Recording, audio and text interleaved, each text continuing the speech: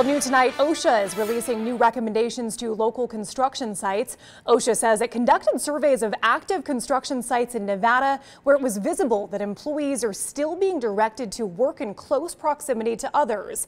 Now, the new guidelines recommend keeping workers at least six feet apart, restricting meetings, and conducting daily surveys, among other things. Now, today, Governor Steve Sisolak said that all construction projects will remain open because they are deemed essential.